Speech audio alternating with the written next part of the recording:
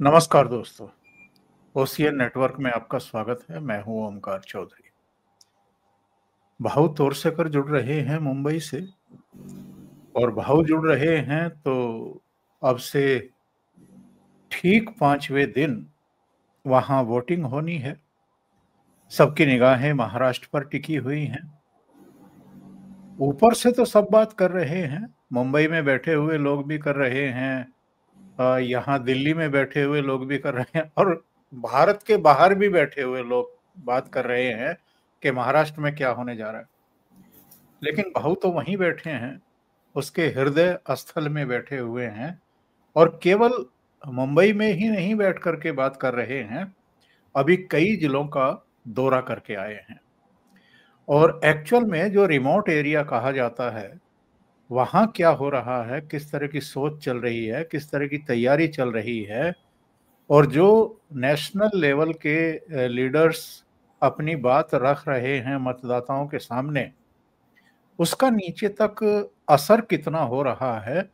और फिर वो वोटिंग में परिवर्तित कैसे होगा या नहीं होगा, इस पर आज चर्चा करेंगे। कुछ अहम दूसरे मुद्दे भी हैं, जिनको हम टच करने की कोशिश करेंगे। तो पहले भाव उसके साथ जुड़ लेते हैं और उसके बाद फिर चर्चा को आगे बढ़ाते हैं। भाव बहुत अभिनंदन है। नमस्कार। नमस्कार नमस्कार। भाव सब जानना चाहते हैं कि एक्चुअल में महाराष्ट्र सबकी दिलचस्पी की वजह क्यों बन गया है? सब जानते हैं कि लोकसभा चुनाव में थोड़ा बीजेपी को झटका ज़रूर लगा था लेकिन नरेंद्र मोदी तीसरी बार प्रधानमंत्री बन गए हैं। उसके बाद जो पहली परीक्षा थी, उसमें भी भारतीय जनता पार्टी पास हुई है, कांग्रेस फेल हुई है। आप जम्मू कश्मीर देख लो, वहाँ तो कांग्रेस को केवल छह सीटें मिली हैं, भारतीय जनता पार्टी को उनतीस मिल गई हैं। हरियाणा में कांग्रेस पार्टी हार गई है, भारतीय जनता पार्टी की तीसरी बार सरकार बन गई है। झारखंड को लेकर के किसी के मन में किसी तरह की कोई शंका नहीं है, और सबको पता है कि झारखंड में क्या होने जा रहा है। महाराष्ट्र में कन्फ्यूज़न केवल इसलिए था कि लोकसभा चुनाव में बीजेपी और उसके गठबंधन को झटका लगा था।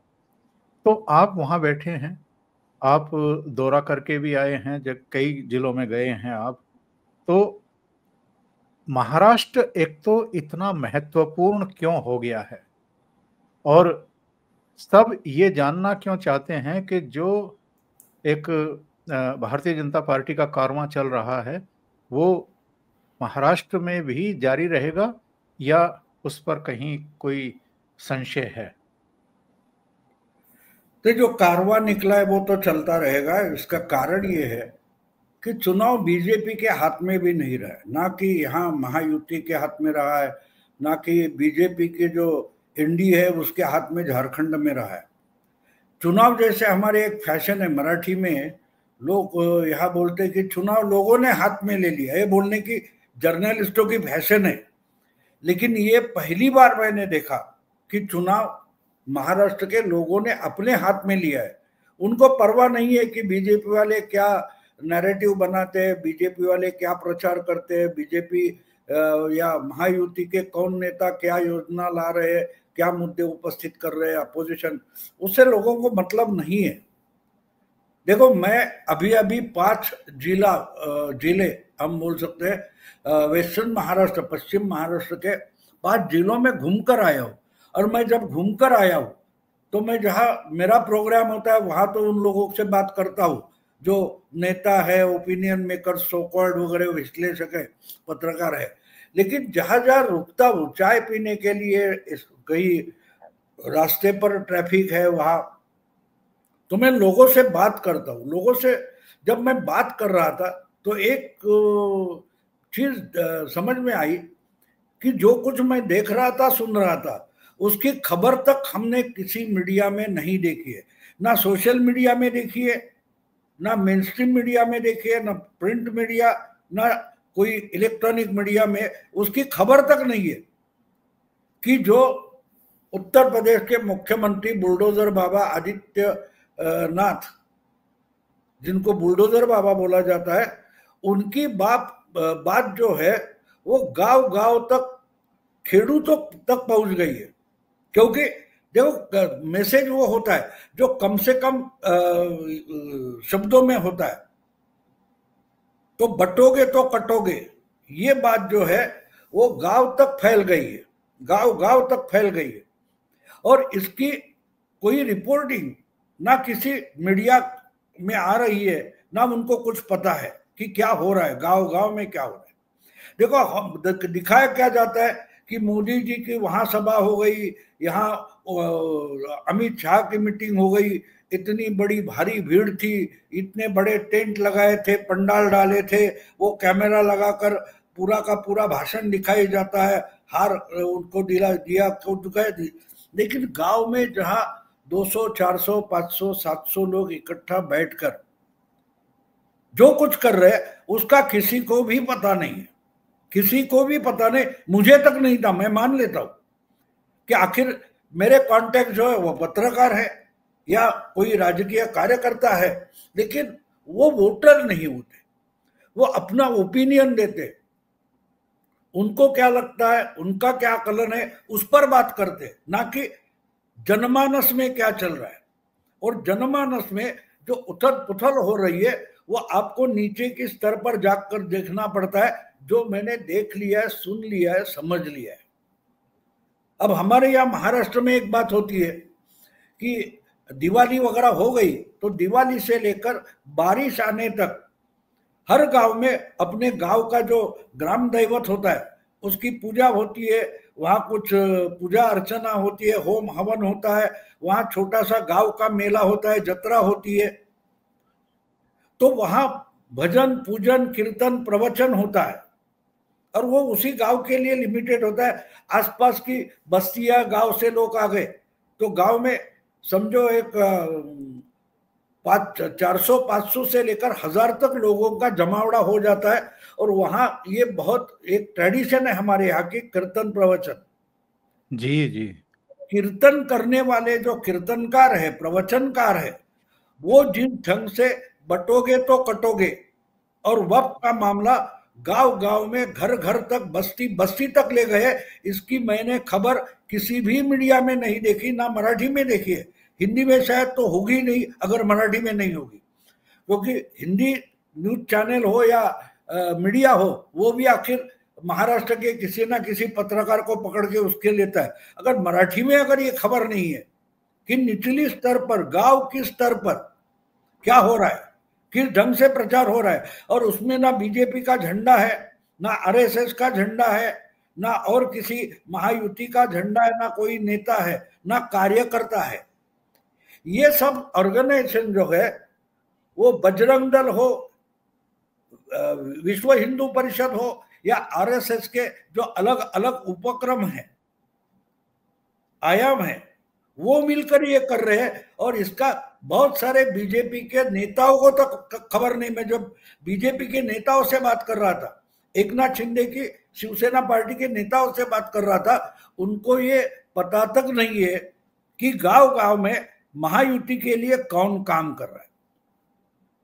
और इसको मैं महत्व इसलिए देता हूँ इंपॉर्टेंस इसलिए देता हूँ कि जब आप हज़ारों लाखों लोगों के सामने भाषण करते हो तो उनके मन में क्या भावना पैदा हुई? उसका फीडबैक तो आपको आता नहीं। लेकिन जब एक गाँव में 200-500 लोगों के सामने गाँव की महिलाएँ होगी बूढ़े हो गए जवान हो गए किसान हो गए मजदूर हो गए वो एक जगह बैठकर दो तीन घंटा ये प्रवचन कीर्तन का जो इंटरेक्शन चलता है उसका प्रभाव उस मानसिकता पर बहुत बड़ा होता है। क्योंकि ये कीर्तनकार जो होते हैं, वो सिर्फ़ किसी श्लोक या किसी अभंग को लेकर एक प्रवचन निरूपण करते हैं। तो उसमें आज की ज़िंदगी, आज की वास्तविकता और स्पिरिचुअलिटी और इतिहास, इसका सम्मिश्रण करके बात करते हैं। तो उसका प्रभाव हमारे मन पर ज़्यादा होता है। और ये जो मैंने देखा या सुना तो मैं चकित हो गया क्योंकि मुंबई में बैठकर मुझे पता तक नहीं था, एक हफ़्ते पहले तक, कि इस ढंग से पिछले तीन चार महीने से काम हो रहा है। ये काम कौन कर रहा है? कोई आरएसएस वाला नहीं कर रहा है। आप ये भाई कोई आरएसएस का स्वयंसेवक है, ये वीएचपी का कार्यकर्ता है, पदाधिकारी, ऑफ़िस बेरर है, ऐसा नहीं बोल सकते, क्योंकि वो इन सब सोशल पॉलिटिकल ऑर्गेनाइजेशन से अलग रहने वाले लोग हैं। लेकिन वो जबकि उनकी ज़िंदगी धर्म से निगड़ित है, हिंदुत्व से निगड़ित है, क्योंकि संत महात्मा हो, किसी मंदिर हो, अब देखिए ये जो कीर्तन होता है, प्रवचन होता है, वो कहाँ होता है? जहाँ मंदिर होगा, उस मंदिर के सामने जो खुली जगह होती है, वही तो होगा। तो इनकी ज़िंदगी ही हिंदू धर्म से अगर जुड़ी हुई है तो उनके लिए वप का मामला जो है वो गंभीर बनकर सामने आ गए गंभीर बन के इसलिए सामने आ गए कि अगर हिंदू धर्म नहीं रहेगा मंदिर नहीं रहेगा तो कीर्तनकार करेगा क्या? प्रवचनकार करेगा क्या? तो इन लोगों ने ये इतना सीरियसली मामला लोगों तक पहुँचाया है। जो मोदी योगी तक नहीं पहुँचा सकते लेकिन योगी की जो लाइन है टैगलाइन है बटोगे तो कटोगे एक रहोगे नेक रहोगे एक रहोगे सेफ़ रहोगे ये मामला गाँव गाँव तक पहुँच गया है और इसकी ना बीजेपी या किसी पार्टी के नेता को खबर है ना कि किसी पत्रकार या मीडिया को खबर है। और ये सबसे बड़े आ, मैं इसको अहम इसलिए बोल रहा हूँ कि जब इसके परिणाम 23 नवंबर को आएँगे 20 नवंबर को मत मतदान होगा 23 नवंबर को मतगणना होगी, तब इसके परिणाम 23 को दोपहर को 12 बजे हम बोल रहे इस समय उसके परिणाम दिखाई देंगे, तब सब विश्लेषक जो है एनालाइज एनालिस्ट है, वो बोलेंगे अंडर करंट था, हमको पता नहीं। अब अंडर करंट आपको जानना है तो ज़मीन के नीचे से जाने वाली वायर जो होती है इलेक्ट्रिक की तार जो होती है, वो खोद कर उसको हाथ लगाना पड़ेगा और शॉक लगेगा, तब आपको पता चलेगा कि अंडर करंट क्या होता है। तो मान लो कि मैं घूम रहा था पाँच छह दिन तो वो अंडर करंट मैंने देखा है आई एम शॉक्ड मुझे असलियत में शौक लगा है। ये मैंने कल्पना भी नहीं की थी कि बटोगे तो कटोगे। ये टैग लाइन इतनी इतनी नीचे के स्तर पर गाँव गाँव खेड़ू तक तक पहुँच गई है। बहुत अहम जानकारी भाव आपने दी है और ज़मीन पर क्या चल रहा है, वो फीडबैक आपने दिया है और मुझे लगता है कि आपकी दी हुई इस जानकारी के बाद जो वास्तव में अपने आप को सोकोल्ड मेन स्ट्रीम का मीडिया कहता है, शायद उसकी निद्रा और तंद्रा भंग हो और वो वहाँ तक पहुँचने की कोशिश करें। पता नहीं पहुँचेंगे कि नहीं पहुँचेंगे, क्योंकि उनका भी जो तौर तरीका है काम करने का, कहीं वो लैंड करते हैं, फिर वहाँ एक जमावड़ा होता है, उसमें कुछ पॉलिटिकल पार्टियों के नेता और कार्यकर्ता भी इकट्ठे हो जाते हैं, उन्हीं के द्वारा जुटाई गई भीड़ होती है तो वहाँ पर भी वैसा ही माहौल बना देते हैं जैसा स्टूडियो में बनाते हैं। जो वास्तविकता है वो पब्लिक के सामने नहीं आती है, लेकिन आपने उसका खुलासा किया है। भाव अभी आपने कहा बटेंगे तो कटेंगे वाला मामला। इसको लेकर के जो महायुति के गठबंधन सहयोगी हैं या जो पार्ट हैं, अजित पवार का एक बयान आ गया, अशोक चौहान का आ गया, पंकजा मुंडे का आ गया, और उसको लेकर के मीडिया जो है वो मयूर नृत्य कर रहा है इस समय। और मैंने एक बात नोटिस की है, इनमें से तीन लोगों के तीन में से दो लोगों के बयान इंडियन एक्सप्रेस के इनिशिएशन पर आए हैं। चलिए, अजीत पवार ने तो सभा में कहा, लेकिन बाकी लोगों ने इंडियन एक्सप्रेस से बातचीत करते हुए कहा। तो क्या हम ये मान लें कि जो आप कह रहे हैं कि निचले स्तर तक पहुँच गया है योगी आदित्यनाथ का ये मैसेज तो इसलिए घबराहट है अब इस पूरे इकोसिस्टम में? बिल्कुल बड़ी घबराहट है। देखिए, अगर अगर बटोगे तो कटोगे, इसका परिणाम ही नहीं हो रहा है। तो उसके बारे में अशोक चौहान हो या पंकजा मुंडे हो या अजीत दादा हो, उनके कोई बयान है, तोड़ मरोड़ कर, उस पर बवाल करने की ज़रूरत क्या है? देखिए, आपकी बीमारी बिल्कुल छोटी अनदेखी करनी जैसी है। तो आप दौड़ते दौड़ते ना डॉक्टर के पास जाते हो, ना अस्पताल में जाते हो, कोई दोस्त हो घर वाला हो, बोलता है, अरे यार, ये ये टैबलेट ले लो, ये ये गोली ले लो, शाम को तुम ठीक हो जाओगे। हम कर लेते, क्योंकि वो उतना सीरियस नहीं होता। लेकिन अगर बीमारी सीरियस है तो हम उस दोस्त को बोलते, तेरी बात अलग रखो, तू कोई अच्छा डॉक्टर हो तो बोल दे, कोई अच्छा अस्पताल हो तो बोल दे। तो ये बौखलाए लोग जो है, ये बवाल इसलिए खड़ा कर रहे हैं कि उनको आहिस्ते आहिस्ते जो फीडबैक आ रहा है कि गाँव गाँव में बटोगे तो कटोगे और वक्त का मामला एक एक इंसान तक पहुँच गया है और उसके परिणाम और प्रभाव दिखाई देने लगा है। मैं आपको एक बात बता दूँ। एक एक कीर्तनकार से मैं मिला। सांगली डिस्ट्रिक्ट में एक कीर्तनकार से मिला। मैंने बोला कि मैंने सुना है, आप लोग भी प्रचार करें, बिल्कुल करेंगे बोला। क्यों नहीं करेंगे? हमारी रोजी रोटी भी प्रवचन से आती है, कीर्तन से आती है, हमारी ज़िंदगी कीर्तन और भजन कीर्तन से चलती है। तो हिंदू धर्म हमारी ज़िंदगी, असली ज़िंदगी है।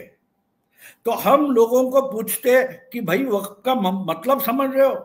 कि तुम्हारे गाँव का मंदिर भी कल उठकर बोलेंगे, नहीं, ये बब की मालमत्ता है, मुस्लिमों की मालमत्ता है तो आप मंदिर में मत आओ, हम मंदिर गिरा देंगे, ये ज़मीन हमारी है।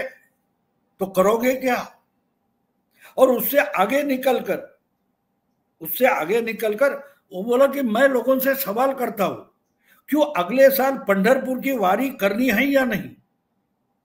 पंडरपुर की वारी ये महाराष्ट्र का एक बड़ा त्योहार होता है। गाँव गाँव से निकलकर लाखों लोग लाखों भक्त भाविक पंडरपुर आ जाते 300, 400, 150, 100, 50 किलोमीटर चलते चलते दो दो महीने से लेकर एक एक हफ़्ते तक चलते चलते पंडरपुर पहुँच जाते हैं। ना उनके भगवान की मूर्ति का दर्शन होता है लेकिन उस मंदिर का जो शिखर है वो देखकर भी वापस गए तो भी वो खुद को पावन और पुण्यवंत मानते हैं।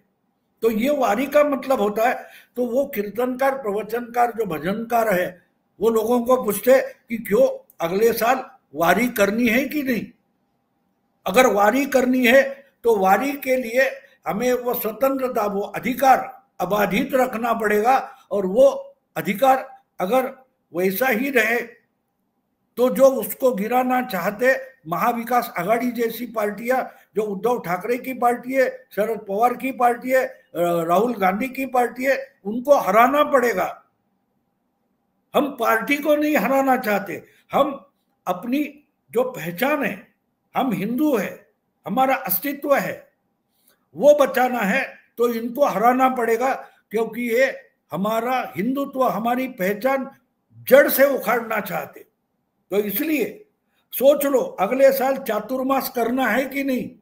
अगर अगले साल चातुर्मास करना है, अगले साल पंडरपुर की वारी करनी है, अगले साल गणपति लाकर उसकी पूजा करनी है तो आज हमें वोट देकर वो अपना अधिकार अबाधित रखना ज़रूरी है।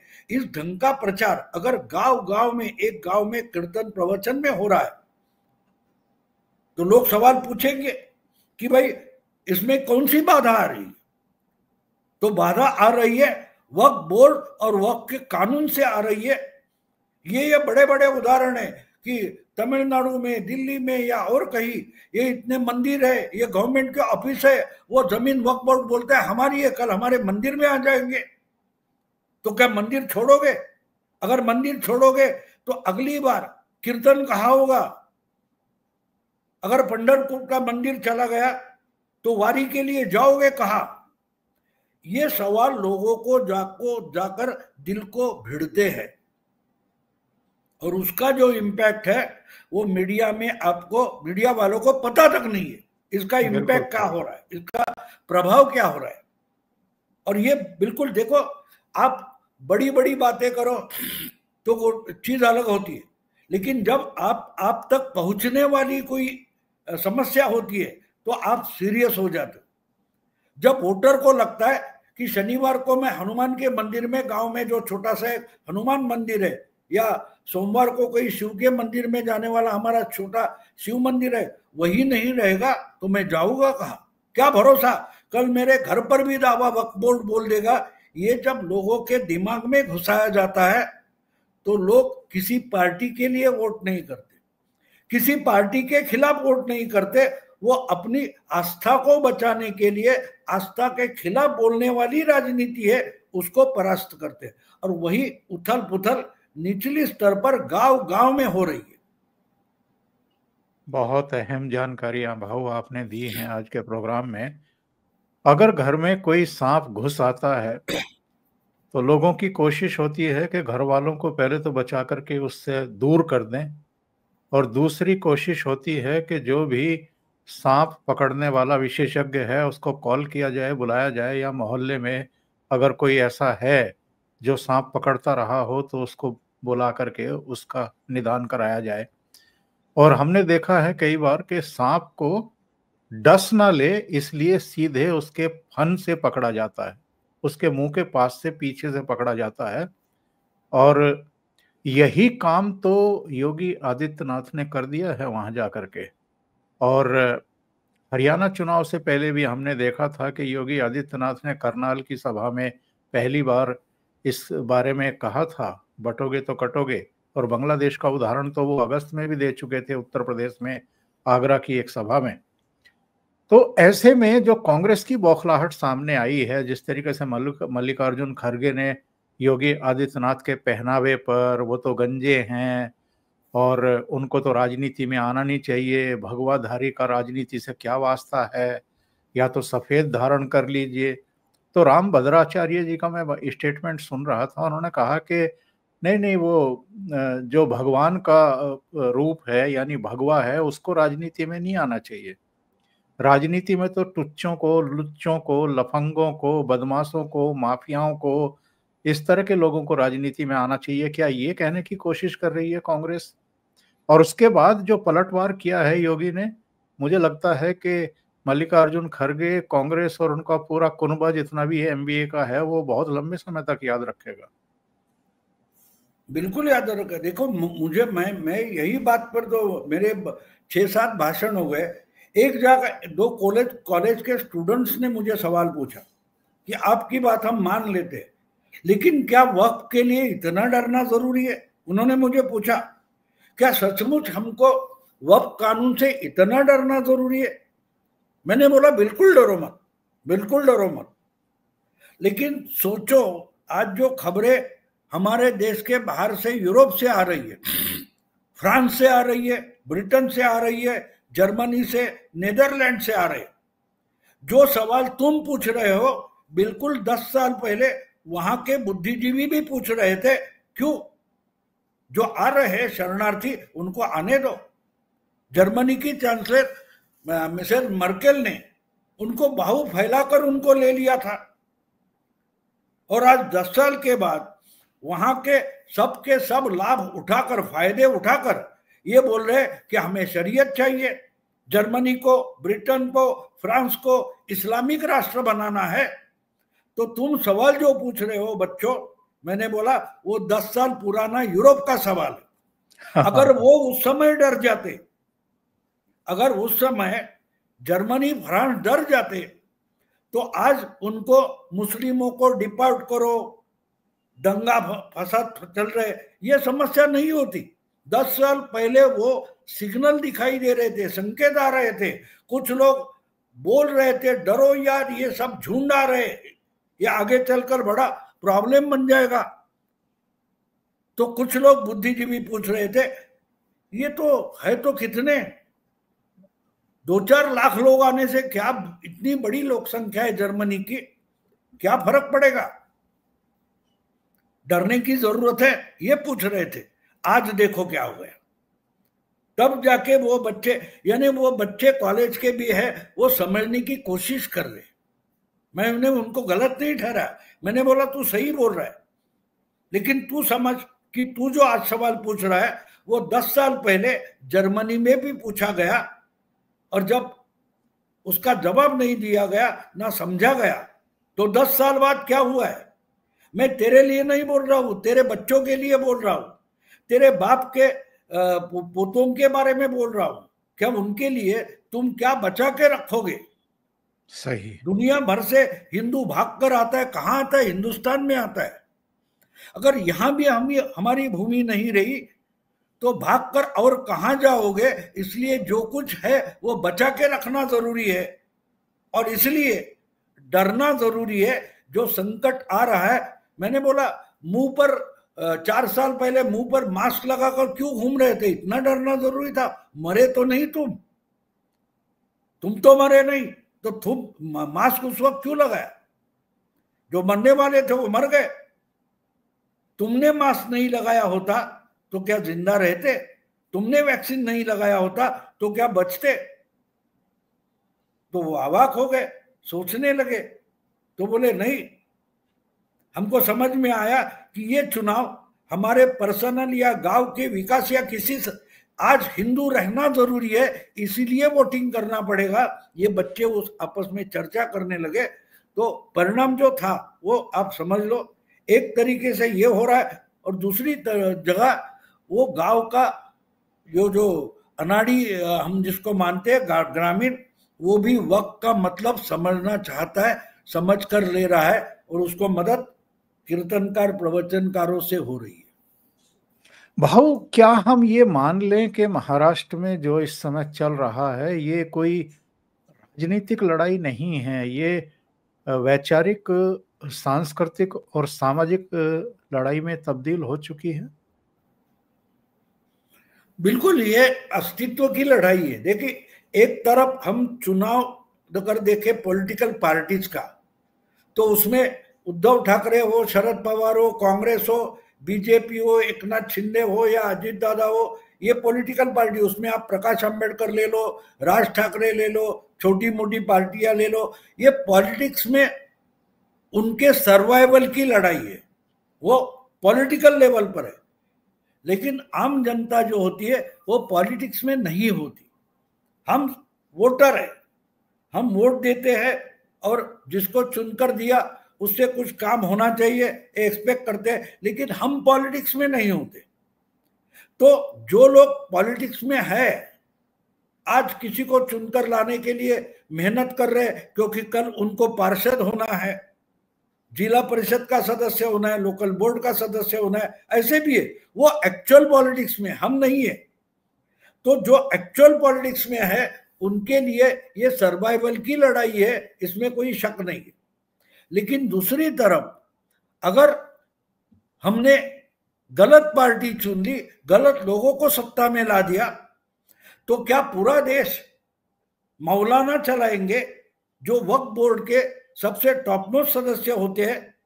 क्योंकि वक्त बोर्ड का अगर कोई डिसीज़न होता है तो उसको कोर्ट तक चैलेंज नहीं कर सकते। इसका मतलब संसद को न्यूट्रलाइज किया गया है कोर्ट जुडिशरी को न्यूट्रलाइज किया गया बस वक्त बोर्ड खुद ही वकील है, खुद ही दावेदार है और खुद ही डिसीज़न मेकर है।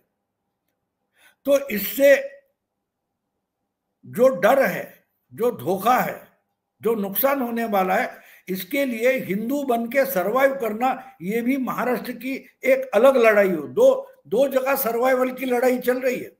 एक पॉलिटिकल स्पेक्ट्रम में जो पार्टियाँ हैं, उनके लिए अपनी पार्टी बचाने की लड़ाई चल रही है और आम जनता में हमारे परंपरा, हमारा धर्म, हमारी प्रथाएँ, हमारा अस्तित्व, हमारी पहचान, उसका सर्वाइवल होना, इसकी लड़ाई चल रही है।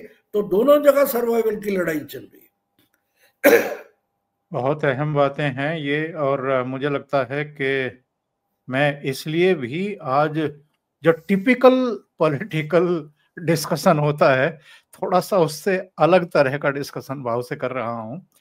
ताकि हमें एक्चुअल में जो ये इस समय की लड़ाई है, उसकी सही सही स्थिति और परिस्थितियों का भी अंदाज़ा हो जाए और उससे जुड़े हुए फिर तमाम एस्पेक्ट्स होते हैं जिनको समझने में हमें ज़्यादा दिक्कत होती नहीं है।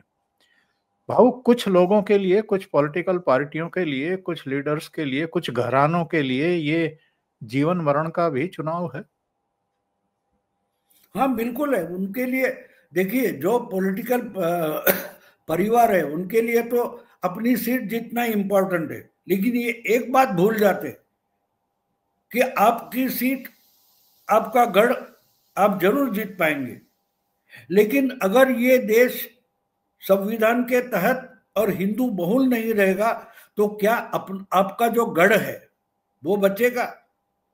जब ब्रिटिशों की या उसके पहले मुगलों की सत्ता आ गई उन्होंने एक एक को अलग अलग करके, एक को सपोर्ट करके, दूसरों को विकलांग करके आहिस्ते आहिस्ते पूरे देश पर अपनी सत्ता जमाई थी। तो धोखा आज की बात नहीं होती, दूर का धोखा होता है, वो ताड़ कर समझ कर आपको कुछ करना पड़ेगा। तो अगर देश नहीं रहेगा, अगर एक बात है कि बाप नहीं रहेगा, बेटा नहीं रहेगा तो अगली पीढ़ी आएगी कहाँ से? अगली पीढ़ी आएगी कहाँ से? तो इसलिए इंसान और जानवर में एक फ़र्क होता है। जानवर जो होता है, वो आज के लिए खाना मिले इतना ही देखता है। कल की उसको परवाह नहीं होती। कुछ पशु, कुछ सजीव होते कि जो भविष्य के लिए कोई संभाल कर रखते, जमा करके रखते लेकिन आम जानवर जो होता है, हम गाय, भैंस वगैरह घर में पालते, कुत्ते, बिल्लियाँ पालते तो वो अपने लिए खाना नहीं जमा करती। इंसान करता है क्योंकि इंसान को कुछ दिन सिक्योरिटी चाहिए। तो इसलिए पार्टियाँ, परिवार की पार्टियाँ अपने लिए देख रही है। समाज के लिए नहीं देख रही है, देश के लिए नहीं देख रही है, राष्ट्र के लिए नहीं देख रही है। तो जो राष्ट्र बनता है वो जनता से, लोक संख्या से बनता है तो उस लोक संख्या को सोचना पड़ेगा कि हमारा क्या? राहुल गांधी का परिवार हो या उद्धव ठाकरे का परिवार हो, मुलायम का परिवार हो, उनकी सत्ता रहे ना रहे, वो उनका मामला है, हमारे लिए क्या है? हमारे लिए ये देश हमारा होना चाहिए, हमें यहाँ सुरक्षित जीवन मिलना चाहिए, ये हमारे लिए तो उनका गढ़ वो जीत पाए या ना पाए उससे हमको मतलब नहीं है। शरद पवार का भांजा, भतीजा या पोता चुनकर आए ना आए उससे मेरा क्या होने वाला है? मेरे लिए मेरा परिवार और उसका भविष्य अगर इस धर्म से, इस सोसाइटी से, इस राष्ट्र से निगड़ित है तो जीत मेरे राष्ट्र की होनी चाहिए, मेरे धर्म की होनी चाहिए, ना कि किसी परिवार की होनी चाहिए। क्योंकि वो परिवार हमने देखा, उद्धव ठाकरे ने एक दिन में हिंदुत्व ठुकरा दिया। क्यों? उनको सत्ता चाहिए थी। तो ये ऐसे परिवार किसी राष्ट्र को, किसी समाज को सुरक्षा नहीं दे सकते, ना भविष्य दे सक, दे सकते।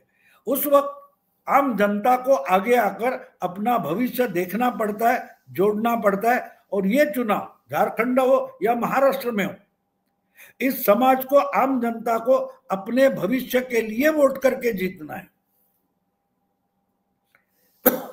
भाऊ अभी आपने राहुल गांधी का नाम लिया, वो तो खैर महाज्ञानी है। हरियाणा में तो वो जलेबी की फैक्ट्री बनाने की बात कर रहे थे और इस तरह के आइडियाज़ बहुत विरले लोगों के पास ही होते हैं, जैसे राहुल गांधी के पास थे। आ, मेरा आकलन ये है कि उन्होंने हरियाणा में अति सक्रियता इसलिए दिखाई थी कि भाई दस साल हो गए हैं अब तो भारतीय जनता पार्टी को जाना ही है और कांग्रेस को आना ही है तो श्रेय मुझे मिल जाए कि देखो राहुल गांधी ने कितना पसीना बहाया था। बहन भाई जो है रोड शो भी कर रहे थे सभाएँ भी कर रहे थे नए नए इनोवेशन भी कर रहे थे आइडिया भी दे रहे थे कि जलेबी की फैक्ट्री बना करके और फिर अमेरिका तक जलेबी की सप्लाई की जाए। लेकिन वहाँ तो सब लोगों ने पटकी दे दी। इधर महाराष्ट्र से खबरें आ रही हैं कि कुछ खास सक्रिय हैं नहीं।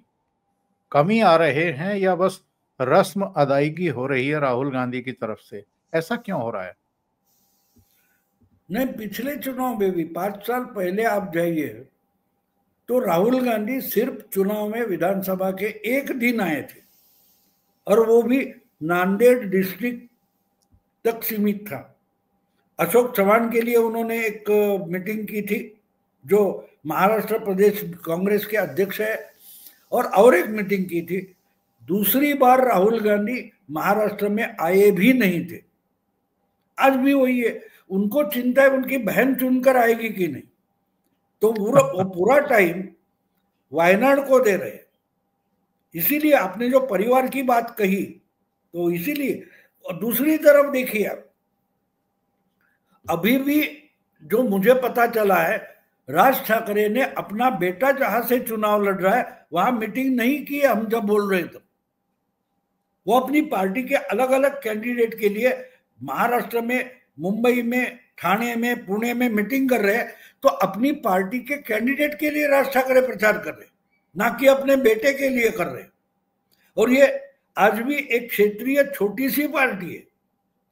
लेकिन राहुल गांधी देखिए ऑल इंडिया पार्टी जो बीजेपी को चैलेंज करने वाली है, मोदी को चैलेंज करने वाली पार्टी, उसके सबसे ऊँचे नेता सर्वे सर्वा हाईकमांड वो अपनी बहन को बचाने में लगे, ना कि महाराष्ट्र या झारखंड की पार्टी बचाने में लगे।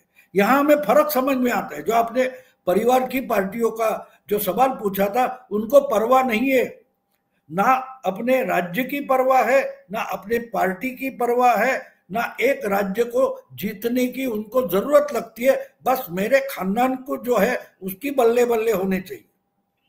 और यही कांग्रेस पार्टी का नुकसान होते गया। कांग्रेस पार्टी अगर हारती है तो उसका कारण यह है कि जब आप एक आदर्श पैदा कर देते हो कि मैं, मेरे लिए हो, जैसे हम जब उद्धव ठाकरे बोलते कि मेरा परिवार मेरी ज़िम्मेदारी तुम्हारा परिवार तुम्हारी ज़िम्मेदारी मरो तुम। तो वही तो राहुल गांधी भी कर रहे उन्होंने बाकी कुछ नहीं तो शायद उद्धव ठाकरे से सीख लिए कि मेरी बहन मेरी ज़िम्मेदारी बाकी पार्टी के उम्मीदवार जो है वो कार्यकर्ता की ज़िम्मेदारी।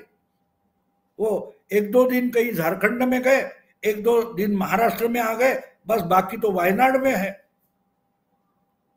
तो ये तो होता रहेगा क्योंकि उनके पास कोई आइडिया नहीं है विजडम नहीं है विजन नहीं है। ऐसे लोग ना अपना कुछ बना सकते हैं, ना अपना भविष्य बना सकते हैं, ना पार्टी का भविष्य बना सकते हैं। अगर कोई अपना भविष्य या अपने पार्टी का भविष्य नहीं बनाता तो जनता का, आम आदमी का और राज्य का भविष्य क्या बनाएगा? और ये आहिस्ते आहिस्ता लोगों को समझ में आ रहा है। हरियाणा में जो हुआ वो वही तो हुआ, जिसको अपना भविष्य नहीं दिखाई दे रहा है, ना समझ रहा है, वो हरियाणा का भविष्य क्या बनाएगा तो इसको बाहर रखते, वही झारखंड में होगा, वही हरियाणा महाराष्ट्र में होगा, वही दिल्ली में होगा, आने वाले हर चुनाव में वही होते हम देखेंगे। बिल्कुल सही बात कह रहे हैं आप। और कई बार हमने देखा है कि रिज़ल्ट आने से एक दिन पहले पता चलता है कि साहब राहुल गांधी तो देश में ही नहीं है, विदेश में यात्रा पर निकल चुके हैं। और अमित शाह या नरेंद्र मोदी के बारे में पता चलता है कि अब से और तीन महीने, चार महीने बाद जिन राज्यों में चुनाव हैं, वो उन चुनाव की तैयारी के लिए उन राज्यों में पहुँच चुके हैं। रिज़ल्ट आता रहेगा, लेकिन दूसरे राज्यों का रुख करते हैं।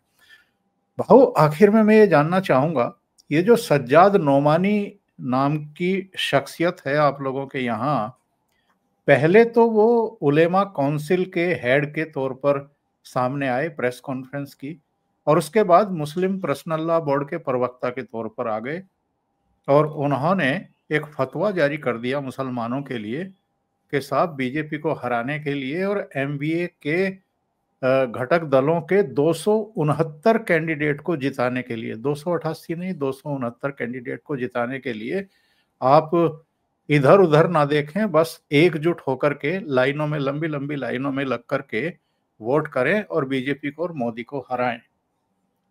क्या इन लोगों को जरा सा भी पता नहीं है इतना अनुभव नहीं है कि जब आप इस तरह की हरकत करते हैं तो इसका रिवर्स पोलराइजेशन भी होता है? और हिंदू जो हैं वो एकजुट हो जाएँगे। जो थोड़ा बहुत जातियों में विभक्त थे, वो भी इकट्ठा हो जाएँगे।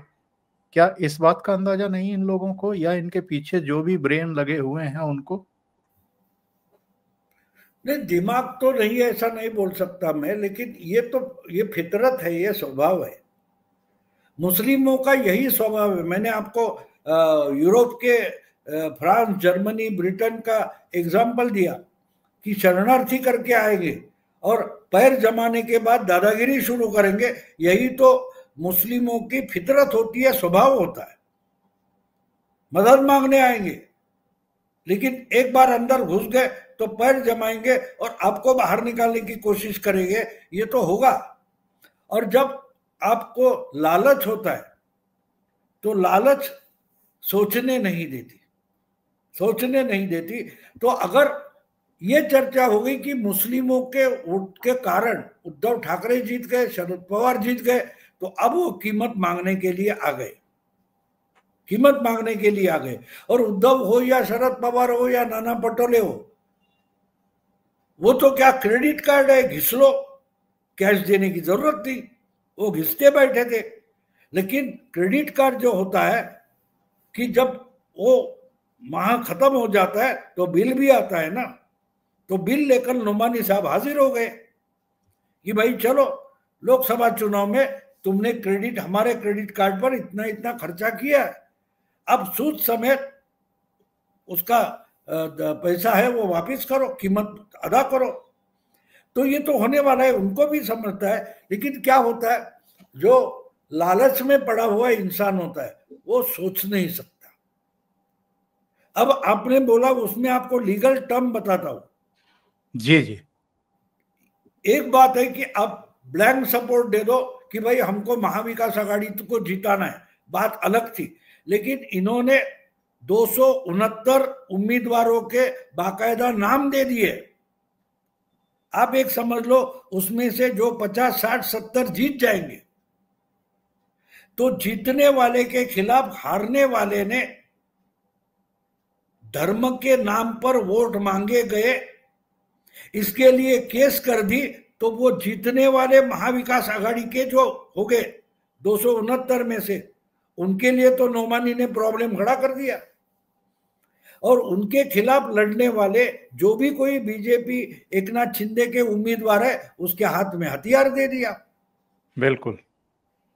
तो नोमानी महाविकास आघाड़ी को मदद कर रहे या महायुति को मदद कर रहे इस पर सोचिए आप। उनको संकट में डाल दिया है। उन्होंने भले इनका वोट मांगा है, मदद मांगी है, नहीं ये पता नहीं लेकिन उसका नाम अपनी लिस्ट में डालकर उस उम्मीदवार को नोमानी ने संकट में डाल दिया। तो समझता सब कुछ है, लेकिन लालच सोचने नहीं देती। लालच सोचने नहीं देती, होने वाला नुकसान होगा। लेकिन एक बात समझ लो कि तेईस तारीख को हम एक अंडर करंट की बात सब चैनल पर, सब मीडिया में सुनने वाले हैं। जो अंडर करंट गाँव गाँव में मैंने देख कर आया है, ये इनको आज भी मालूम नहीं है। देखते हैं क्या होता। भाव दो हज़ार उन्नीस में जिन्ना ने चौदह मांगे रख दी थी, और अब इन लोगों ने सत्रह मांगे रखी हैं, और ये अब तो लगभग मीडिया के हर अंग में ये आ चुका है उसका तुलनात्मक अध्ययन भी हो गया है। और ये भी जानकारी दी गई है कि साहब एक कहाँ से शुरू हो गया? जी जी। तो ये चौदह मांगे जिन्ना की और सत्रह मांगे इनकी। के साहब वक्फ बिल का आप विरोध करिए। नौकरियों और शिक्षकों में, शिक्षा में मुस्लिमों के लिए 10 प्रतिशत आरक्षण तय करिए। और महाराष्ट्र के 48 जिलों में मस्जिदों, कब्रिस्तानों, दरगाहों की जब्त की गई ज़मीन का सर्वेक्षण कराया जाए। महाराष्ट्र वक्फ बोर्ड के विकास के लिए एक हज़ार करोड़ रुपया दिया जाए, यानी सीधे सीधे ब्राइब मांग रहे हैं। और जो 2012 से 24 तक दंगों के सिलसिले में कैद हैं, उन मुस्लिमों को रिहा किया जाए, यानी दंगाइयों को रिहा किया जाए। मौलाना सलमान अजहरी को जेल से रिहा किया जाए। इस तरह की इनकी कुल मिलाकर के सत्रह मांगे हैं। तो ये ये जो है, ये सारी चीज़ें क्या शो करती हैं साहब? नहीं, ये मांगे दिखा रही है कि तुम सीधे सीधे मुस्लिमों के गुलाम बन जाओ। मुस्लिम मौलानाओं के गुलाम बन जाओ। और इससे भी बड़ा पोलराइजेशन कंसोलिडेशन हिंदुत्व का हो जाएगा। वो उनको भी पता है। ये देखिए वह सुधारना जो बिल है, वो पार्लियामेंट में लाकर जेपीसी में भेजने की सबसे बड़ी पॉलिटिक्स तो यही थी। इस पर ही चर्चा होनी चाहिए, इसलिए जेपीसी में भेजा, पार्लियामेंट में वो तो पास हो जाता। लेकिन चर्चा अगर नहीं होती तो प्रॉब्लम हो जाता है। इसलिए अमित शाह ने बिल तो लाया लेकिन जेपीसी में डाल दिया। तो जितनी चर्चा होगी उतना हिंदू कंसोलिडेशन होते जाएगा। और उसको मुस्लिम मौलाना ही उसको खाद डालेंगे उसमें घी डालेंगे आग में। ये तो अमित शाह जानते हैं ना। अमित शाह तो चाणक्य है। वो तो जानते हैं कि हम हिंदुओं को जगाने के लिए जितनी मुस्लिमों की मदद लेंगे उतना फास्ट हिंदू जागरण हो जाएगा। तो नोमानी साहब और क्या कर रहे हैं?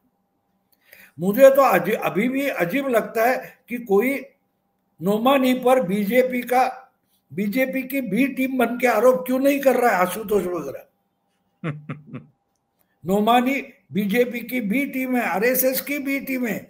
ये आरोप जो आपके ल्यूटियस दिल्ली के बुद्धिजीवी है, लिब्रांडू, वो क्यों नहीं कर रहे? मेरी समझ में नहीं आ रहे। क्योंकि आरएसएस या विश्व हिंदू परिषद जो काम नहीं कर सकती, हिंदू जागरण की, वो तो मुस्लिम मौलाना कर सकते। तो नोमानी ने एक तरीके से बड़ी मदद की है झारखंड और महाराष्ट्र में, ऐसा मैं मानता हूँ। और सप्ताह के भीतर दो press conference, back to back. भाव बहुत बहुत धन्यवाद आपका। जुड़ने के लिए और महत्वपूर्ण मुद्दों पर चर्चा करने के लिए। थैंक यू सो मच दर्शकों को ज़रूर महाराष्ट्र में क्या घट रहा है ज़मीन पर क्या चल रहा है उसके बारे में बाहू ने जो बताया है उससे जानकारी मिल गई होगी।